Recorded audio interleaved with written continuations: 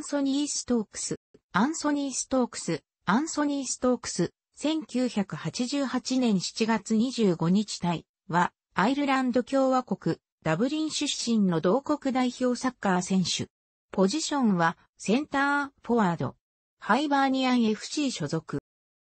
アーセナル FC で、プロ生活を開始したが、2006年に期限付き移籍で在籍したフォルカーク FC でリーグ戦16試合14得点を挙げて地位を確立する。その後、移籍金200万ポンドでサンダーランド AFC と契約するも、出場機会を得るのに苦労した結果、2009年8月5日に移籍金50万ポンドでハイバーニアン FC と契約してスコットランドサッカーに復帰し、1シーズンの間に20得点以上を挙げて、スコティッシュプレミアリーグで成功を収めた。翌シーズン開幕からほどなくして、移籍金120万ポンドで、少年時代の憧れのクラブである、セルティック FC と契約した。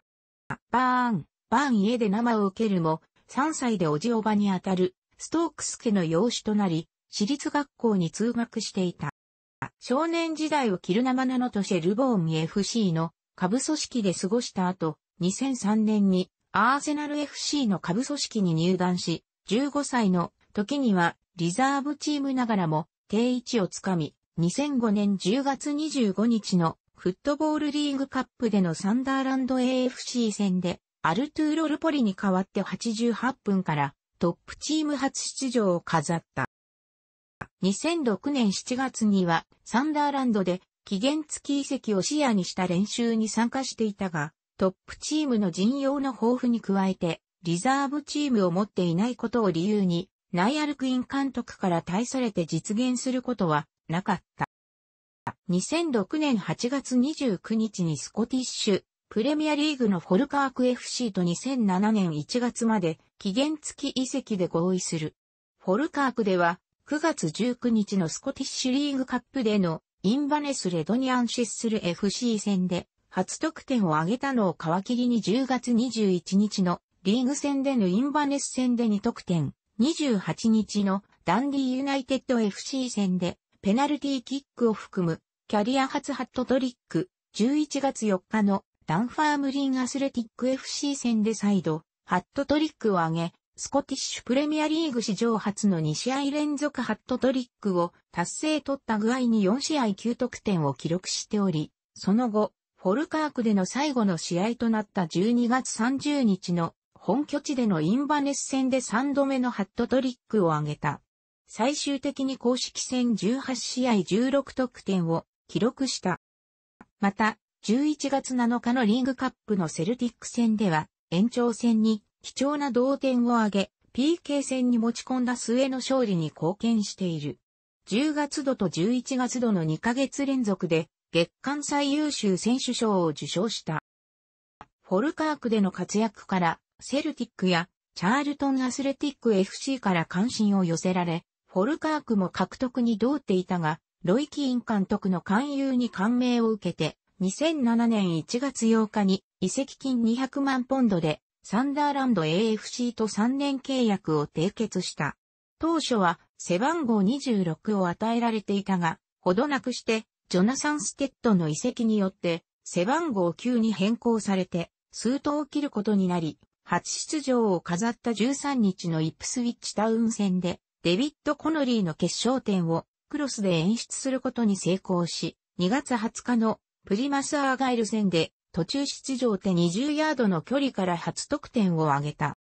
翌2007から08シーズンは、降格危機にある中、12月5日にキーン監督から練習に支障をきたす可能性からナイトクラブへの入場禁止を告げられており、これに対して相手側もキーン監督の姿勢を支じるとともに、シーズン終了後に解禁されたらシャンパンのボトルを無料で提供すると約束されたストークスは、ダービーカウンティ FC 戦で、試合終了間際にチームを降格圏から抜け出させる、レミアリーグ初得点を挙げ、最終的にチームは残留を達成した。しかし、全体的に低調な出来だったこともあり、2007から08シーズン前に背番号9を失い、背番号44に変更されて、開幕を迎えることになったが、2008年9月23日のリーグカップでのノーサンプトンタウン FC 戦で2点を追いかけているところ、後半で続けざまに2得点を挙げて、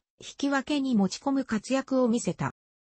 2008から09シーズンもサンダーランドに滞在していたが、ケンワイン、ジョーンズ、ジブディル・シセ、ダリル・マーフィー、デイビッド・ヒーリーよりも序列が下となっていたために居場所がな、2008年10月17日にフットボールリーグチャンピオンシップのシェフィールドユナイテッド FC と延長オプション付きで3ヶ月の期限付き移籍に合意した。シェフィールドユナイテッドで再びステッドの背番号を受け継いで8を渡されてスタートを迎えると19日のシェフィールドウェンズデー FC とのスティールシティダービーで後半から初陣を飾って以降序盤は定位置を掴んでいたが負傷によってほどなくして控えとなり12試合0得点と印象を残すことができなかった。2009年3月3日にチャンピオンシップのクリスタルパレス FC と2008から09シーズン終了までの期限付き移籍で合意する。出場2試合目となった7日のプレストンノースエンド FC 戦で初先発して早初得点を挙げ、キャリアの再起になるかと思われたが、クリスタルパレスでは1得点のみとなり、サンダーランドに復帰した。サンダーランドに復帰するも、2009から10、シーズン開幕前にダレン・ベントとフレーザー・キャンベルが補強され、状況は好転せずにいたため、フォルカーク時代に支持したジョン・ヒューズ、監督に誘われ、2009年8月21日に推定移籍金50万ポンドでスコティッシュ、プレミアリーグのハイバーニアン FC と3年契約を締結し、古巣のフォルカーク戦で初出場を飾った。9月19日の本拠地でのセントジョンストン FC 戦で初得点を挙げ、テントリアとしてのスタートを切ったものの、ほぼ同時期にナイトクラブで言い争いを起こしてヒューズ監督を失望させた。それでも、ピッチ内では3試合5得点を挙げる顕著な活躍を見せ、チームのプレミアリーグでの無敗記録を12試合に伸ばすことに貢献しており、12月27日のグラスゴーレンジャーズ FC 戦では、サウリウス・ミコリウーナスが保持するプレミアリーグ史上最速得点記録を12.4秒で塗り替えた。この同試合は、首位相手に1から4で敗北となったが、ストークスの優れたパフォーマンスは、2009年12月度の月間最優秀若手選手賞に選出されることで報われた。また、11月のレンジャーズ戦での得点は年間最優秀得点賞に選出された。圧倒的なプレーを見せる一方で、特定の試合では制裁を書いていたことで、ヒューズ監督から改善を要求されており、自身もプレー面の課題を認識して2010から11シーズン開始を迎えたが、ほどなくしてセルティック FC のニール・レノン監督からメディアを通して勧誘の趣旨を伝えられると、セルティックへの移行に大きく揺れ動き、移籍金80万ポンドのオファーの破談を経て、最終的に移籍金120万ポンドでセルティックと合意した。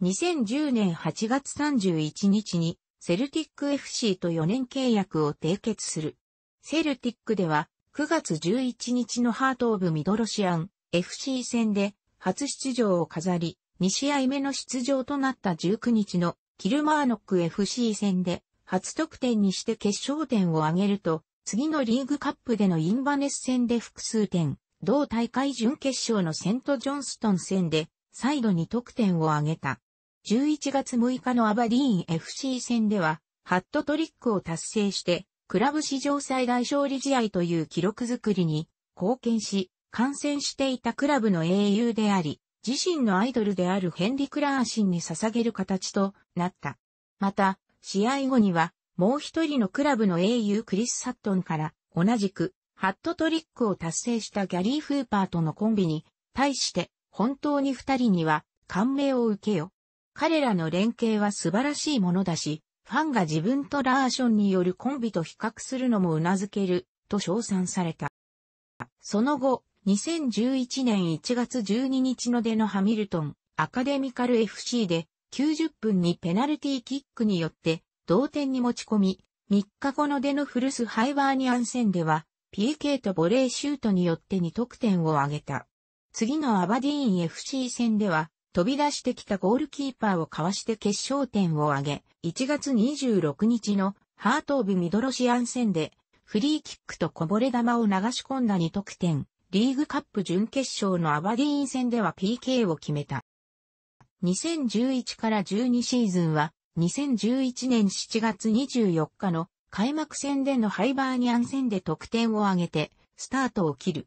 10月15日のキルマーノック戦では、3点差を追いかける厳しい展開の中で、後半の6分間で、フリーキックと長距離シュートによって2得点を挙げ、引き分けに持ち込むのに、多大な貢献をするとともに、レノン監督の首の皮一枚つなげた役目を足していたことが後に判明していた。また、同試合に対して、ヨハン・ヤルビージョ監督は、ライバル関係にあるレンジャーズと一時は、勝ち点差15も開きがあったにもかかわらず、ひっくり返すことに成功する天気だったとの考えを明かした。11月3日の UEFA ヨーロッパリーグ2011から12グループステージでのスタッドレンヌ FC 戦で複数点を挙げ、次のリーグ戦でのマザーウェル FC 戦で1得点に加え、決勝点をアシストした。2012年1月9日のリーグカップ4回戦での相手にハットトリックを達成する。